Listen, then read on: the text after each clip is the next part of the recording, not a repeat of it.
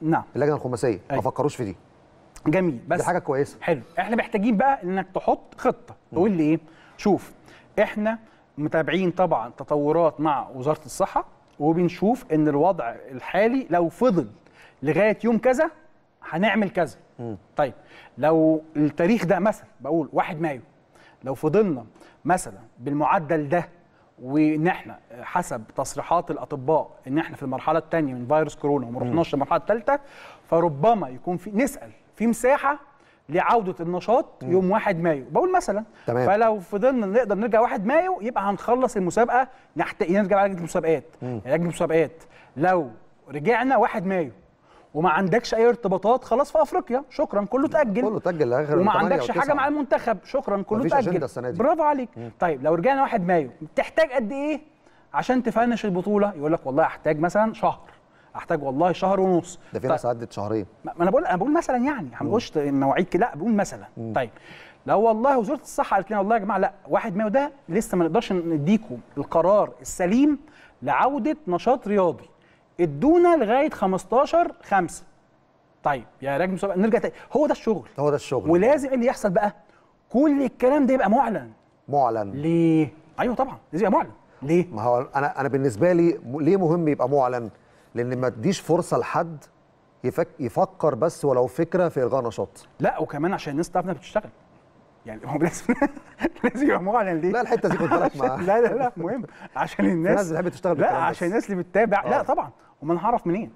الناس اللي بتتابع تشوف أنا إن أنت. بتوثق. أنا بقول لك. نعم. أنا بقول لك. لا ما ينفعش تقول تقول لي. في وضع زي ده لا ما خلي بالك. جزء برضه خلي بالك يا محمد في هنا جزء معنوي. إيه هو؟ عجبني والله التصريح بتاع المهندس فرج عامل لما قال هو قالها بشكل يعني إيه دارج جدا. آه. قال لك يا ريت نرجع الدوري عشان معنويات الشعب ترتفع. صح. كلامه مظبوط جزء طبعا. من الرياضة أيوه جزء من الرياضة آه. إنك بتحسس الناس بالطمانينه آه طبعا. الناس لما بتشوف إن ال- المجال زي الرياضة ومجال زي الفن ومجال زي المسلسلات أو أي شيء الأمور دي ماشية بشكل طبيعي صح. بيطمنوا خلي بالك سيبك من الأمور الانتقاد وال... يعني في تراك لا تاني في جزء معنوي آه طبعاً. الحاجات دي مهمة في حياة طبعاً. الإنسان بخلاف الجزء الاقتصادي كمان آه. فاهم لكن أنا بتكلم عن حتة إيه بتكلم عن حتة إن المجال ده شغال بشكل ثابت أو في محاولات جادة إن هو يستكمل. ده بيحسس الناس حتى اللي بينتقدوا بس يقول لك إيه؟ لأ ده في أمل. ده الناس أهو شغالة الناس بتحاول ترجع الدنيا زي ما كانت ونعيش حياتنا الطبيعية. فجزء مهم جدا على المسؤولين إن أنت دايما تكلم الناس وتقول لهم لأ أنا أنا يوميا شغال مع التيم بتاعي إن إحنا إن شاء الله بنأمل إن الدوري يرجع. هو أنت ليه إحنا في بداية الفقرة بتيجي تقول لي جرعه التفاؤل. مش إحنا أفضل من الأسبوع اللي فات ليه؟ عشان إحنا في ناس بتتفرج علينا. لازم نديهم أمل.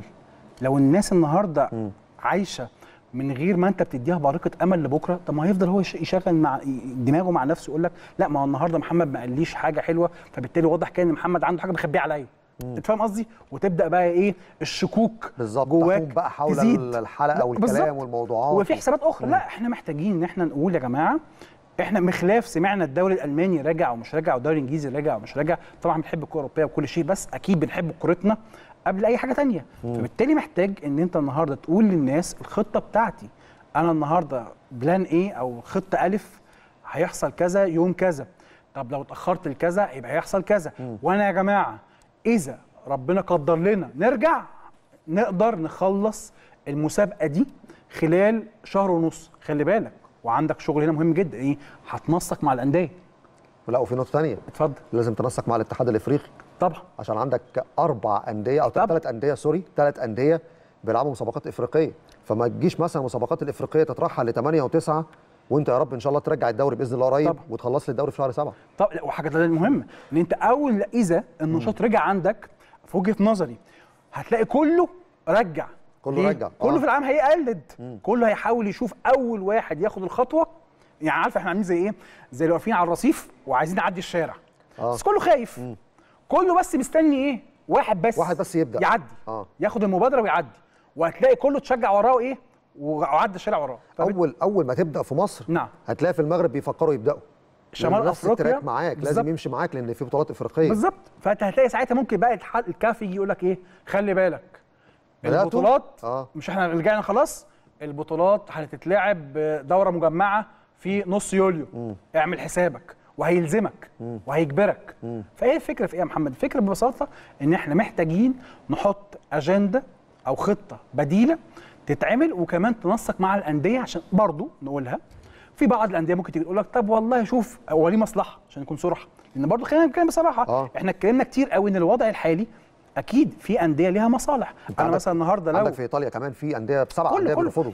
وتاني بعيدا عن اللي بيتكلموا عن المتصدر وإن حد هيكسب البطولة لا أنا في وجهة نظري أكتر ناس ممكن تستفيد من إلغاء البطولات هي الأندية المهددة بالهبوط. طبعاً. هو هيجي يقول لك أنا خسرت آه، مباريات كتيرة وما عنديش المساحة إن أرجع النقط دي فلا إلغي المسابقة. أو النهارده نادي حابب إن هو يتأهل لبطولة آه، قارية معتمدا على نتائج الموسم اللي فات. الأساس إن إحنا ننقذ الموسم بتاعنا عشان لا أحد يجرؤ إنه يدفع الفاتورة. الفاتورة هتبقى فاتورة غالية. غالية. ومش غالية السنة دي. لا للسنه الجاية كمان هتكمل معاك. طبعا. ومش هتقدر إن أنت تدفعها مرة واحدة. ومش عايزين نوصل في يوم إن إحنا نقول إن قطاع الكورة في مصر لن يتم أنقاذه إلا لو اتحاد الكورة أو الأندية راحوا خدوا قروض من البنوك زي ما آه. أندية في أوروبا أزمة كبيرة هتعمل. أزمة كبيرة. بس. أرسنال لما ياخد قرار بالتخفيض لمدة سنة نعم. من إبريل 2020 لمارس 2021 بس بنسبة 12.5% قرار قوي جدا. ده سنة. طبعا. الناس في إيطاليا وفي بعض الدول الأوروبية خدوا قرار بس لغاية شهر 6 أو 7 لا وإيه؟ ومع التعويض. نعمل فلاش باك سريع كده لل- للخطة اللي هي المفروض الخطة الأمثل لغاية دلوقتي في أوروبا وهي خطة يوفنتوس. دي أفضل خطة اتحطت. هي مبنية على إيه؟ مبنية على تخفيض توفير 90 مليون يورو من مرتبات اللاعبين والجهاز الفني مع تأكيد إن أول ما النشاط يرجع يتم تعويضهم في المكافآت بما يتوازى مع الخصم اللي تم. تمام. الاتفاق.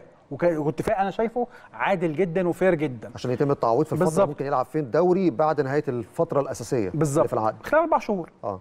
لكن أرسنال خد قرار فعلا سنة. قوي. و- وطبعا عايزين برضه نقول إن برشلونة خد اللعيبة نفسهم. خدوا قرار ب 70% بس الإدارة عايزة 80% قبل طبعا ما يخشوا بقى في السكة المشاكل اللي حصلت والتسريبات فيه نص السرقة ومش بتاعت آه. الخزنة والكلام اللي بارتوميو دخل فيه ده. لكن أرسنال خد قرار بسنة. 12 ونص. في المية. احسب بقى ممكن لمدة تعمل سنه توتال رقم كبير. جدا. وهم وخلي بالك الرقم ده ما بيطلعش اعتباطا. لا. لا لا بيبقى. المحاسبين آه. حسبوا الميزانية بتاعتي كام وعندي إيه والتزاماتي إيه وأقدر أعيش لإمتى. وكمان لازم أحط في بالي ال- العمالة اللي عندي إن أنا عايز أحافظ على مرتباتهم. تمام. وبالتالي أهم شيء يا محمد إن كل الأندية باللعيبة بالأجهزة الفنية بالإداريين يتكاتفوا. لازم يحصل تكاتف. والمبادرة تيجي من اللعيبة. لأن أي حد دلوقتي يجي يقول لك لا أنا مش عايز أخفض. أوكي طب ما أنا هاجي أقول بعد لك ثلاث شهور هنعيش مش إزاي. هنعيش إزاي؟ بعد ثلاث شهور ممكن النادي ما يبقاش معاه مرتبك أساسا. بالظبط. لا وكمان خلي بالك انت الرياضة نفسها دي أصلا كلها معمولة للجمهور. حقيقي. الجمهور دايما هيفتكر مين وقف ومين ما وقفش. واللي ما وقفش بيتصدر دلوقتي. فاهم قصدي؟ هي دي فكره دايما الناس مش. تنسى الحتة دي اللي برضه في الآخر الكورة. ترفيه. توني كروز في الريال. نعم. أول ما اتقال اسمه واتقال له ده أنت لولا الكرة الإسبانية ولولا الفلوس اللي بتاخدها في إسبانيا مثلا. الموضوع على طول. وأوزيل مع هو زي ما أنت بتقول. يعني بقول لك الموضوع صعب جدا. ف... ومحدش يستحمله.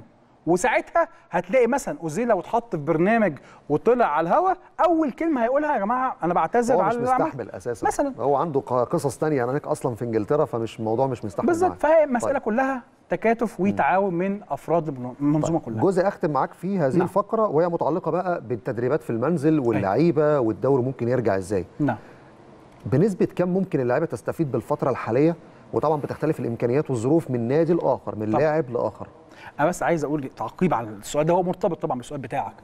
آه في بعض الأندية قالوا إن إحنا محتاجين من ستة لثمان أسابيع عشان آه. نقدر نحضر لعيبتنا بعد فترة الراحة السلبية دي إن إحنا نرجع نلعب كورة.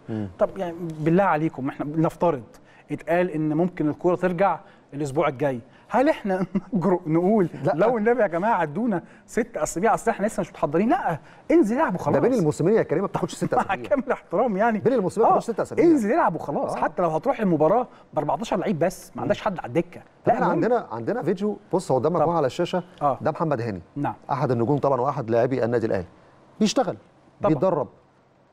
وأكيد طبعا واضح جدا من التدريبات بتبقى مع أخصائي الفريق والأخصائي أكيد، آه، الأحمال آه، طبعا. عشان النهارده اللعيبة ما تقدرش تعمل أي أحمال زي بس مهم جدا الفتنس ليه يا محمد عشان اللعيبة تبدأ تحافظ على آه. موسى بس خلينا برضه نتكلم بصراحة مش كل اللعيبة في مصر عندها الثقافة إن أنا أقدر أعمل نفس الأسلوب اللي بيعمله لعيبة النادي الأهلي لعيبة النادي الأهلي برضه لحد ما الثقافة المفروض يعني والوعي عند الجهاز الفني مكمل معاهم بشكل أكبر وبشكل أعلى. لكن المهم إن إحنا نحضر نفسنا لازم كل أندية الدوري المحترفة تبقى محضره نفسها إن ممكن يتقال لها خلي بالكم إحنا النشاط راجع الأسبوع الجاي. ساعتها ما تجيش تقول لي لا والله أصل إحنا كنا قاعدين في كنا البيت. أجازة. آه وإحنا ما عملناش حسابنا فلو سمحتوا إحنا مش هينفع نلعب ادونا ثلاث أسابيع. هنا بقى يجي بقى النقطة اللي أنا قلتها لك. ربما يكون أنا عندي نية أخرى بقى مش بخلاف بالظبط. اللي إحنا بنتكلم فيه لا أنا بالظبط. عندي نية تانية أصلا ده أنا عايز أستغل الموقف بالظبط. عشان عايز الدوري ده يتلغي فدي نقطة مهمة لازم أكيد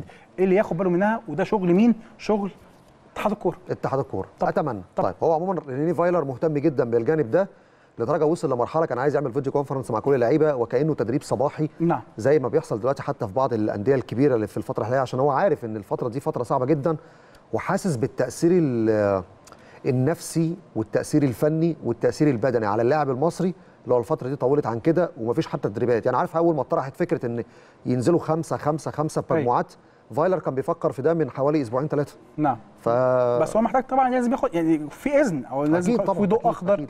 من وزارة الصحة عشان تقدر تعمل